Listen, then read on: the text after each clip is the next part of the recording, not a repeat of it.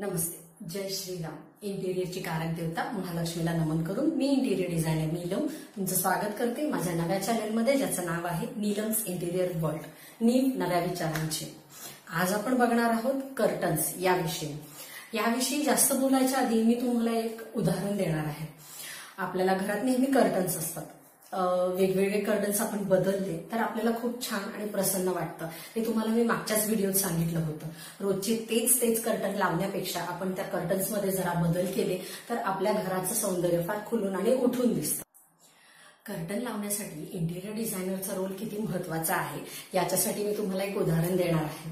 मी कर्टनचे वेगवेगळे शूट घेण्यासाठी कर्टनच्या दुकानात गेले होते. तिथे एक क्लायंट आले होते आणि दुकानदार त्या क्लायंटला समजावून सांगत होता. दोघांचा विषय काय चालला होता? एक क्लायंट आले होते गणपती आलेला आहे त्यांना घरात कर्टन्स बदलायचे होते. रादर त्यांनी बसवलेले नव्हते गणपतीच्या निमित्ताने ते कर्टन्स घरात लावणार होते. तर त्यांचं म्हणणं होतं की ऑलरेडी मी रॉड लावलेले आहेत ऑलरेडी मी सगळे फिटिंग्स केलेले आहेत आणि मी कर्टन घेणार आहे. आणि मला कर्टन्स हवे. मग त्याच्यामध्ये रेडीमेड कर्टन दाखवा किंवा माझ्या शिलाईदाराने सांगितलेले आहे एवढा एवढा खर्च आहे आणि तुम्ही कापड आणा. आता इथे काय झालं? त्यांचा जो काही डायमेन्शन्स होते विंडोचे याच्यानुसार जे काही रॉड्स लागणार होते ज्याचा काही तो खर्च झाला होता तो खर्च रॉडच्या कम्पॅरिझनमध्ये जर ट्रॅकचा गेला असता तर तो जास्त सोयीस्कर पडला असता. आता हे सांगण्याचं उदाहरण म्हणजे त्यांना तिथे कॅल्क्युलेट करून रॉडचा खर्च त्यांनी सांगितला की माझा टोटल बाराशे किंवा तेराशे झालेला आहे. पण तिथे जर ट्रॅकच बसवले असते तर त्याच विंडोजचा किंवा त्याच सगळ्या सिस्टीमचा खर्च रादर एकवीसशे रुपये गेला असता. पण रॉडपेक्षा ट्रॅक हे फार स्मूथली रन होतात आणि कर्टन्स खूप छानली फ्लो होतात. हे आपल्याला माहीतच नसतं.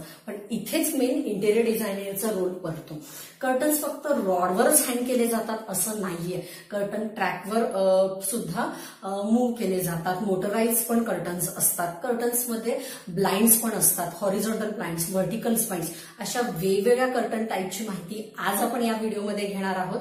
जेणेकरून तुम्ही कर्टन घ्यायला जाताना ऑलरेडी रॉड प्लेस करून नका जाऊ. त्याच्याविषयी पूर्ण माहिती या व्हिडिओत घ्या आणि मगच तुम्ही कर्टन्स दुकानात विकत घ्यायला जा. नक्कीच या व्हिडिओचा तुम्हाला फायदा होईल असं मला वाटतं. सो शेवटपर्यंत बघत राहा हा व्हिडिओ. कर्टन्स खरेदी करायला जाताना तुम्हाला पहिल्यांदा एक होमवर्क करावा लागेल. तो म्हणजे तुमच्या विंडोची रुंदी किती आहे आणि उंची किती आहे किती विंडोज आहेत याचे फोटोज आणि किंवा याचे मेजर्स तुम्ही घेतले गेले पाहिजेत आणि त्याच्यानंतर तेच मेजरमेंट तुम्हाला त्या दुकानदाराला सांगितले गेले पाहिजेत. रेडीमेड कर्टन्स अवेलेबल आहेत आणि स्टिचिंग करून पण कर्टन मिळतात. रेडीमेड कर्टन्समध्ये रिंग टाईपचे कर्टन्स हे सगळ्यांच्या घरामध्ये आता कॉमनली बघायला मिळतात. त्याच्याऐवजी तुम्ही जर अमेरिकन प्लेटचे कर्टन्स वापरलात तर दिसायला ते खूप छान दिसतात. याचं कारणच आहे रिंग कर्टन जेव्हा तुम्ही पूर्णपणे ओढता तेव्हा ते एक प्लेन कापडासारखे दिसतात. पण तेच कर्टन्स जर तुम्ही अमेरिकन प्लेट्समध्ये घेतलात ते शिवलेले पण मिळतात आणि रेडीमेड सुद्धा मिळतात. पण अमेरिकन प्लेट्समुळे त्याचे जे फोल्ड्स आहेत ते स्टार्टिंग एंडपासून ते खालच्या पडद्याच्या एंडपर्यंत ते प्लेट्स कंटिन्युअसली राहतात पण रिंग कर्टनमध्ये हेच फोल्ड्स जे आहेत ते तुम्हाला अजिबातच दिसत नाहीत. याच्यामुळे कर्टनच्या दिसण्यामध्ये लुकमध्ये खूपच मोठा फरक पडतो. ऍक्च्युली रेन कर्टनमध्ये कापड खूप कमी लागतं. अमेरिकन प्लेट्समध्ये त्याच्या प्लेट्स आल्यामुळे त्याची कापड जास्त लागतं आणि त्याची कॉस्टिंग ही थोडी वाढते. पण माझं असं म्हणणं आहे की जर रिंगपेक्षा तुम्ही अमेरिकन कर्टन्स प्रेफर केले तर ते दिसण्यासाठी खूपच छान होतात. रेडीमेड कर्टन्स हे दोन सायझेसमध्ये मिळतात. एक चार फूट बाय पाच फूट याला विंडो कर्टन असे म्हणतात आणि एक चार फूट बाय सात फूट याला डोर कर्टन असे म्हणतात. पण जर तुमच्या विंडोज असतील तरी सुद्धा जर तुम्ही त्यांना स्कर्टिंग पर्यंत डोर कर्टनच्या साईजने जर कर्टन्स लावले तर ती रूम दिसायला खूप स्पेशियस दिसते उंची असल्यासारखी जाणवते आणि डोर कर्टन्स दिसायला खूप छान लुक देतात. रिंग कर्टनमध्ये रेडीमेड व्हरायटीमध्ये जर तुम्ही चार फुटाचा कर्टन घेतला असेल तर तो तीन फुटच विंडो तुमची कव्हर करणार आहे. आणि जर तुम्ही अमेरिकन प्लेट्स घेतलात तर चार फुटाचा कर्टन हे दोन ते अडीच फुटाचीच विंडो कव्हर करतो. या मेजरमेंटनुसार तुम्हाला असणारे विंडोचं माप घेऊन पडदा किती कव्हर करतो हे ठरवा. की किती पडदे तिथे लागणार आहेत याची संख्या तुम्हाला तिथे कॅल्क्युलेट करता येईल. जर या कॅल्क्युलेशननुसार जर तुम्हाला तीनच पडदे तिथे बसत असतील तर ते दिसायला खूप छान वाटत नाहीत. सिमेंट्री सिमेंट्री असणं फार गरजेचं आहे. याच्यासाठी या साईडला दोन या साईडला दोन अशा पद्धतीने सुद्धा तुम्ही सिमेंट्री करू शकता. पडदे सिमेट्रिकल लावल्यामुळे रॉडचा सेंटर सपोर्ट फार छान राहिला जातो. याच्याविषयी सुद्धा तुम्ही काळजी घ्या.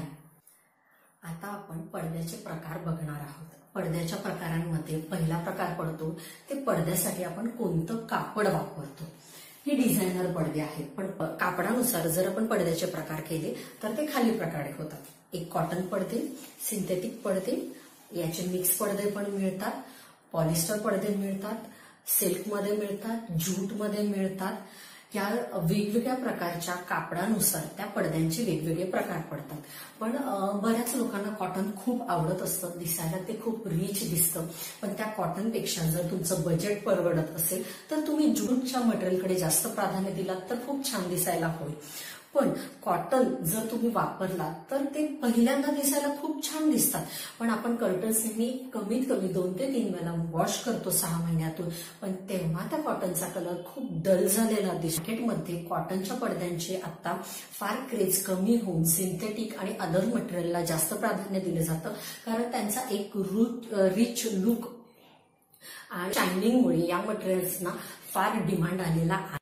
याच पद्धतीने दुसरा पडद्यांचा प्रकार पडतो. तो म्हणजे त्या पडद्याची असणारी ट्रान्सपरन्सी या ट्रान्सपरन्सीनुसार त्याचे तीन प्रकार पडतात. शिअर कर्टन्स मॉडरेट कर्टन्स आणि ब्लॅकआउट कर्टन्स शिअर म्हणजे एकदम पारदर्शक असणारे पडदे. हे कधी कधी हॉलला पण छान दिसतात पण आपल्याला कधी दुपारी झोपायचं असेल तर आपल्याला ब्लॅकआउट पडदे म्हणजे डार्क पडदे असलेली गरज जास्त वाटते. त्यामुळे प्रायव्हसीनुसार आपण आपल्या घरांना पडदे लावताना हे लक्षात घ्या की तिथे मॉडरेट हवी आहेत शिअर कर्टन्स हवे आहेत का? ब्लॅकआउट कर्टन्स हवे आहेत. आपण असंही करू शकतो. साईडला डार्क कर्टन्स म्हणजे ब्लॅकआउट कर्टन्स आणि मध्ये शिअर कर्टन्स लावून सुद्धा आपण हॉलचा गेटअप देऊ शकतो. याच्यामध्ये अजूनही प्रकार करता येतात म्हणजे एकाच रॉडवर दोन पडदे न लावता दोन सेपरेट रॉड कॉम्बिनेशन्स घेऊन आपण मागच्या साईडला डार्क कर्टन्स घेऊन पुढे ट्रान्सपरंट कर्टन घेऊ शकतो. जेव्हा आपल्याला प्रायव्हसी पाहिजे असेल तेव्हा आपण ब्लॅकआउट कर्टन्स ओढू शकतो. आणि जेव्हा आपल्याला उजेड हवा असेल तेव्हा आपण ट्रान्सपरंट कर्टन्स वापरू शकतो. याच्यामुळे एक लुक छान येतो. आणि दोन कॉम्बिनेशन्समध्ये बजेट जरी वाढत असलं तरी हॉलला एक छान